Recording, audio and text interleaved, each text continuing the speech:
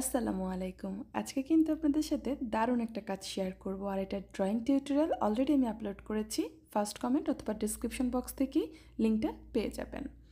তো এই রং সম্পর্কে একটু বলি, এখানে আমি তুলি সেটটা কিনেছিলাম, সেটারও একটা ভিডিও অলরেডি আমি আপলোড করেছি, এটা আমি সৌদি থেকে কিনেছি ফেব্রিক্যাল অ্যাক্রোলিকি কালারগুলো আপনারা যে কোনো বড় লাইব্রেরিতে অথবা হাতের কাছে জিনিসপত্র পাওয়া যায়, এটা এখন অনেক বেশি পপুলার সো আপনারা যে কোনো দোকানেই কিন্তু এটা খুঁজে পাবেন, আর যে কোনো দোকান বলতে মুদি দোকান না নিশ্চয়ই লাইব্রেরি বা হাতের কাজের অ্যাক্সেসরিজ পাওয়া যায়, এমন কোনো দোকান অবশ্যই খুঁজবেন, সেটা নিউ মার্কেটের গায়ে হলুদের যে দোকানগুলো আছে, সেখানেও আপনারা খুব সহজেই পেয়ে যাবেন, আর এটা একেবারেই রেডিমেড আমাকে অনেক আপু কমেন্ট করেছিলেন, এটার সাথে কিছু মিক্সড করতে হয় কি না এটার কনসিস্টেন্সি দেখেই বুঝতে পারছেন যে এটা একেবারেই আর কি মেক করা জাস্ট আপনি ইউজ করবেন। আর যারা বিজনেস মানে অনেক বড় প্রসার এগুলোর কাজ করবেন, যেমন আমি এখানে ছোটো ছোটো কৌটা কিনেছি, এটা কিন্তু অলমোস্ট অনেক টাকা পড়েছে।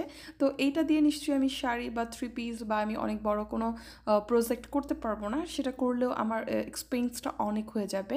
তাই অবশ্যই আপনি যখন এটা বড় পরিসরে কাজ করবেন, তখন আপনি এটা মেক করে নেবেন ঘরে এবং সেই ক্ষেত্রে আপনাকে একটু বেশি পরিমাণে প্রোডাক্ট কিনতে হবে এবং যেখানে কমে পাওয়া যায় বা হোলসেলে পাওয়া যায় সেখান থেকে কিনে নেবেন। এটা জাস্ট শৌখিন। তাই আপনারা ছোট করে বা যারা একেবারেই বিগেনার প্রথম অবস্থা, যেমন আমি এগুলোর কাজ তেমন একটা আগে করিনি, তাই আমি ছোট করে আর এখানে যেহেতু এগুলোর ওরকম কোনো শপ নেই বা আমি চাইলে অনেক বেশি আর কি অ্যামাউন্টে কিনতে পারব না, তাই আমি ছোট পরিসরে জাস্ট এই বক্সটা কিনেছিলাম, বারোটা কালারের আর আমি কিন্তু কথা বলতে বলতে দেখিয়ে দিচ্ছি জাস্ট এখানে আমি অনেক আগেই ড্রয়িংটা করেছি, সেটার উপরেই আমি জাস্ট কালার করছি। আর এই কালার বক্সটাতে কিন্তু টিয়া বা হালকা বা লেমন কালারের কোনো কালার ছিল না, তাই আমি সবুজ সাদা বা হলুদ, এই দুইটা মিক্সড করে এখানে একটা কালার করছি। আর এখানে ফেব্রিকটা হচ্ছে জাম কালার মানে একটু ডিপ কালার যদিও ক্যামেরাতে কালারগুলো অত ভালো বোঝা যাচ্ছে না বাট সামনাসামনি কিন্তু কালারটা খুবই আইসুদিং ছিল। আর যেহেতু একটু ডার্ক কালার কাপড়ে আমি সবুজ কালার করছি, তাই সাথে আমি একটু ইয়েলো মিক্সড করে নিব। এতে করে আমার একটা লেমন বা হালকা একটা কালারটা আসবে। আর সবুজ হলে বেশি ডার্ক হয়ে যাচ্ছিল, কারণ এটা শুকানোর পর কালারটা আরও একটু ডার্ক লাগে। এখানে আমি কলির জন্য কাজ মানে রং করছি এবং এখানে আমি কলিতে এখন সাদা এবং হলুদ মিক্সড করে দিচ্ছি। আর মূলত আজকে কাজটা আমি একটা বেবি ফ্রকে করছি। ফ্রকের উপর পোর্শনে আমি কাঠগোলাপের আর কি কাজটা করব।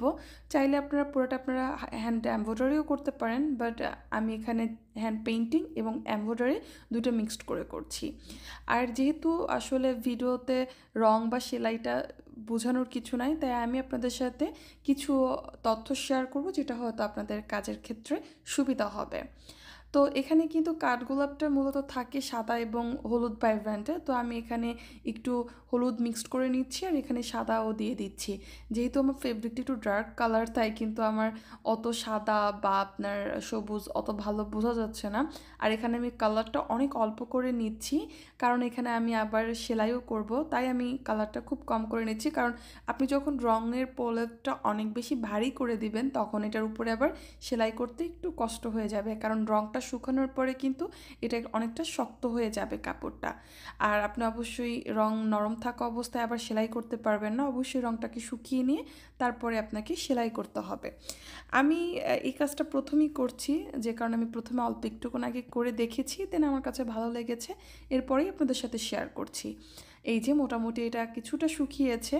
আর যেহেতু আমি আর কি রুমের লাইটে কাজ করি, তাই আসলে কালারগুলো অত ভালো বোঝা যাচ্ছে না। বাট এটা কিন্তু সামনাসামনি কালারটা অনেক সুন্দর লাগছিল। এখন আমি পাতার সাইড থেকে এভাবে করে ডালফোর দিয়ে দিচ্ছি, একটু বড় বড় করেই দিচ্ছি। কারণ এখানে আর কি বড় বা ছোট সেলাই বা সুন্দর করে করার ওরকম কোনো প্রয়োজন নাই, কারণ এখানে আপনি অলরেডি কালারটা করেছেন জাস্ট সাইডে বর্ডারটা করছি। আর এটা কিন্তু আমি একেবারে লাইট একটা লেমন কালার দিয়ে করছি, যেহেতু মিডেলে আমার গ্রিন কালার লেমনটা সাইডে থাকলে দেখতে ভালো লাগবে। আর এই পর্যায়ে আমি এখন দুই পাশ থেকেই কিন্তু পাতাটাকে বর্ডার করে দিচ্ছি। আর এখানে আমি একতার সুতা নিয়েছি আর সুতি লাচ্ছি সুতা ব্যবহার করছি। অনেকে আমাকে কমেন্ট করেছেন। অনেকে কমেন্ট করেছেন বলতে জানতে চেয়েছিলেন রঙের ব্যাপারে যে রঙটা উঠে যায় কি না বা এটার স্থায়িত্ব কীরকম বা প্রাইস কীরকম। দেখেন এটা এক এক জায়গায় এক এক রকম প্রাইস বা দোকান ভেদে বা রঙের পরিমাণ বা পরিমাপ বা কোয়ালিটি অনুযায়ী এটার দামটা হবে। আমি বাংলাদেশ থেকে প্রায় ১.৫-২ বছর আগে কিনেছিলাম। হয়তো ২৮০ বা ২৫০ সামথিং এরকম হবে। তো এখন হয়তো ৳৩৫০-৪০০ তো হয়েই যাবে। কারণ এখন দিন, দিন জিনিসপত্রের দাম যে হারে বাড়ছে আর এই যে আর কি শৌখিন বা হাতের কাজের জিনিসগুলোর অ্যাক্সেসরিজের দামগুলোও কিন্তু বেড়ে যাচ্ছে হু, হু করে। কারণ সবাই এখন আমরা কম বেশি এই কাজগুলোর প্রতি অনেক আসক্ত হচ্ছি। তাই এগুলোর দামও কিন্তু দিন, দিন বেড়ে যাচ্ছে। সবথেকে ভালো হয় নিউ মার্কেট থেকে রং বা আপনার হাতের কাছে যে জিনিসগুলো পাওয়া যায় ওই সব দোকান থেকে যখন কিনবেন প্রাইসটা একটু কমে কিনতে পারবেন। রাদার দেন আপনি যদি কোনো পেজ থেকে কেনেন অনলাইন পেজ অথবা ধরেন এলাকায় একটা দোকান আছে, সেখান থেকে কেনেন, সেই ক্ষেত্রে একটু দামটা বেশি পড়বে, আমার যেটা মনে হয়।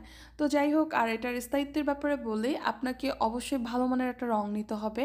আর আপনি রং করার পরে সেটাকে ভালোভাবে এক দুই দিন রোদে শুকিয়ে নেবেন দেন উল্টা পাশে আয়রন করবেন। এটা আমি রং করার ক্ষেত্রে বলছি। এছাড়াও রং করার জন্য আপনি যদি একটু ভালো মানের রং ইউজ করেন, সেক্ষেত্রে এটা ওঠার সম্ভাবনা থাকে না। আর অবশ্যই এই ধরনের ড্রেসগুলো আপনি পানিতে বা ডিটারজেন্ট দিয়ে ভিজিয়ে রাখবেন না। এটা চেষ্টা করবেন খুব দ্রুত ওয়াশ করে ফেলতে এবং আমরা যে ব্রাশ দিয়ে ঘষাঘষি করি, এটা করা যাবে না। মানে একটু স্মুথলি এবং খুব কেয়ারফুলি এটা ওয়াশ করে নেবেন। তো কথা বলতে বলতে আমি এখানে কিন্তু পাতার কাজটা করেছি। এটা হচ্ছে অরিজিনাল কালার যেটা আমি একটু সানলাইটে ভিডিও করেছি, দেখতেই পাচ্ছেন। আর রঙটা শুকানোর পর একটু হালকা হয়ে যায়, যেহেতু আমার এই ড্রেসের কালারটা একটু ডার্ক তাই আসলে কালারটা ওইভাবে ভালো আসছিল না। এখন আমি দেখাচ্ছি সেলাইটা, এখন আমি কলির ভিতরে সেলাইটা করছিলাম। কলিগুলো এত কিউট লাগছিল মার্শাল্লাহ খুবই সুন্দর লাগছিল। মানে আমি নিজেই কাজ করছি আর ভালো লাগছিল। যদিও আমি ভিডিওতে কালারটা এক্স্যাক্টলি আনতে পারছিলাম না, তাহলে হয়তো আপনাদেরও আরও ভালো লাগতো। তো আমি কিন্তু সাদা একটা সুতা দিয়ে এভাবে করে কলিতেও একটু সেলাই করে দিয়েছি। এখন আমি হলুদ কালার, হলুদ না, এটা অ্যাকচুয়ালি একটা বাসন্তী হলুদ কালার সুতা, খুবই চমৎকার এই কালারটা, আমার খুবই পছন্দের একটা কালার, তো এটা দিয়েও আমি এখানে তিন চারটা ফোর দিয়ে দিলাম। তো কলিটা আমার কিন্তু কমপ্লিট হয়ে যাবে, এই পর্যায়ে দেখতেই পাচ্ছেন কতটা সুন্দর লাগছে। এখন আমি কলির নিচে আমি এই লেমন কালার সুতাটা দিয়েও একটু বর্ডার লাইন করে দিচ্ছি, এতে করে দেখতে আরও বেশি কালারফুল লাগবে এবং একেবারে চোখে পড়ার মতো করে লাগে। যেহেতু আমি এটা বেবি ড্রেসে করছি, আপনারা কিন্তু পাঞ্জাবিতে করতে পারেন ওয়ালমেট করতে পারেন। যাদের কাঠগুলো খুবই পছন্দ, তারা কিন্তু এভাবে করে করতে পারেন। এছাড়াও কিন্তু এভাবে করে কাজ করে বা রং করে কিন্তু আপনারা হ্যান্ডমেড যে ফেব্রিক্যাল অথবা উডের যে জুয়েলারি আছে, সেগুলোও কিন্তু মেক করতে পারেন। তো এই যে, আমার কলি কমপ্লিট হয়ে গেছে। এখন এভাবে করে যতগুলো কলি আছে, আমি সেগুলো করে নিচ্ছি। এভাবে করে শুধু প্রিয় কাঠগোলাপ না, আপনার প্রিয় গোলাপ পদ্ম এছাড়াও শাপলা যে কোনো কিছুই কিন্তু আপনি কালার করে হালকা একটু কাজ করে নিতে পারেন। আর বেবি ড্রেসে বা ওয়ালমেট এভাবে করে করলে কিন্তু বেশ ভালো লাগবে। তো মোটামুটি পাতাকলি করার পরে এখন আমি ফুলের কাজটা করছি। আর ফুলের দিকে যেখানে আমি ইয়েলো কালার রং দিয়ে একটু শেড করেছিলাম, কারণ কাঠগোলাপের ভিতরের দিকে একটু হলুদের আভা থাকে, তো সেখানে আমি এখন এই হলুদ কালার একটা সুতা দিয়ে এভাবে করে একটু কাশ্মীরি স্টিচ একটু বড় বড় করে দিয়ে দিচ্ছি। দেখতেই পাচ্ছেন। এখানে কাশ্মীরি স্টিচটা দেওয়ার কারণ হচ্ছে স্টিচটা আবার আটকে যাচ্ছে। যেহেতু স্টিচগুলো আমি একটু লম্বা করে মানে একটু বড় বড় করে দিয়েছি, আর এই কাঠগোলাপটা কিন্তু আমি বড় করে এঁকেছি। কাঠগোলাপটা কিন্তু আরও ছোট করে আঁকবেন, যখন আপনার আপনারা আর কি অন্য কোনো কিছুতে করবেন, তখন ছোট ছোট করে অনেক কাঠগোলাপ করবেন, দেখতে সুন্দর লাগবে। আমি এখানে জাস্ট তিনটা করেছি, তাই আমি একটু বড় করে করেছি। তো বুঝতেই পারছেন নিশ্চয়ই যে পাপড়ির ভিতরে আপনি ইয়েলো কালার শেডটা কীভাবে দেবেন? এভাবে একটার সুতা নিয়ে একটু লম্বা লম্বা করে ফোর দিয়ে সেটাকে আটকে দিচ্ছি। মানে আমি এখানে কাশ্মীরি স্টিচ দিচ্ছি, চাইলে এখানে শাটিন স্টিচও দিতে পারেন। তো প্রতিটা ফুল, আর প্রতিটা ফুলে কিন্তু পাঁচটা করে পাপড়ি থাকে। তো আমি এভাবে করে প্রথমে হলুদ কালার সুতার কাজটা কমপ্লিট করেছি। এখন একটা সাইডটা আমি এভাবে করে দিয়ে দিচ্ছি চেইন স্টিচ সেটা দিচ্ছি ডাবল সুতা নিয়ে। মানে সুতা নেবেন দুই তার। আর এটা কিন্তু সাদা সুতা দিয়ে করছে। যদিও আমার সুতাটা খুব উজ্জ্বল সাদা ছিল না, যদি উজ্জ্বল সাদা থাকতো তাহলে দেখতে আরও ভালো লাগতো। কারণ কাঠগোলাপের পাপড়ির একটা সাইড একটু উল্টানো থাকে এবং সেটা হোয়াইট থাকে, দেখতে সুন্দর লাগে।